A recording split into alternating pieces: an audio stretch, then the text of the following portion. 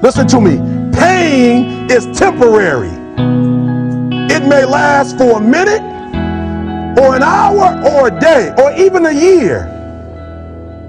But eventually, it will subside. And something else will take its place. If I quit, however, it will last forever. Y'all spoiled. Some of y'all spoiled. Just bottom line. Your parents have done everything for you. You never had to do nothing for yourself. You're spoiled. We're going to keep it real tonight. Some of you are spoiled brats.